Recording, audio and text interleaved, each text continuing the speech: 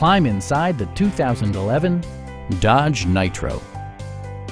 It features four-wheel drive capabilities, a durable automatic transmission, and a refined six-cylinder engine.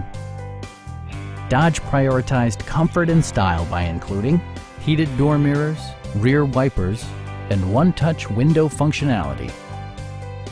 For drivers who enjoy the natural environment, a power moonroof allows an infusion of fresh air.